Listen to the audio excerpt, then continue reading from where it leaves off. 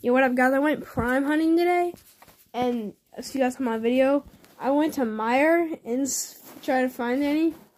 There were not. So tomorrow, I'm going to this place called JT.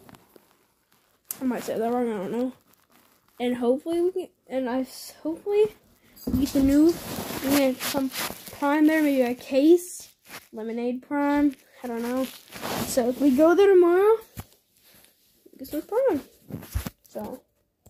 Uh, that vlog will come out, I think, maybe, I think, 5 o'clock. Whoops.